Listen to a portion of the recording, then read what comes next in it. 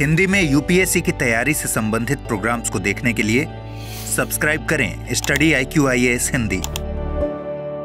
नमस्कार quick news programme में आपका स्वागत है। टॉपिक है इसराइल के कब्जे की अवैधता पर प्रस्ताव पास। फिलिस्तीनी क्षेत्रों में इसराइल के कब्जे की अवैधता और उससे संबंधित चार प्रस्ताव संयुक्त राष्ट्र महासभा में रखे गए। इसमें से एक प्रस्ताव इसराइल के अवैध कब्जे पर अंतर्राष्ट्रीय न्यायालय यानी आईसीजे की तत्काल सलाह लेने से संबंधित है। इन प्रस्तावों के पक्ष में अंठानवे वोट और विपक्ष में सत्रह वोट पड़े, जबकि बावन देशों ने मतदान से परहेज किया। चार में से दो प्रस्ताव फिलिस्तीनी शरणार्थियों के लिए संयुक्त राष्ट्र राहत और कार्य एजेंसी यूएनआरडब्ल्यूए के जनादेश का विस्तार करने और फिलिस्तीनी शरणार्थियों को सहायता प्रदान करने को संदर्भित करता है। बाकी दो फिलिस्तीनी शरणार्थियों की संपत्ति और उनके राजस्व से संबंधित हैं। यह प्रस्ताव इसराइल के लंबे समय तक कब्जे के रूप में संदर्भित करता है। प्रस्ताव में कहा गया है कि फिलिस्तीनियों के आत्मनिर्णय के अधिकार का उल्लंघन हो रहा है। फिलिस्तीन के विदेश मंत्री ने इन प्रस्तावों को एक कूटनीतिक और कानूनी सफलता के रूप में वर्णित किया। इसराइल के राजदूत ने संयुक्त राष्ट्र में कहा कि आईसीजे में शामिल होने से दोनों देशों के बीच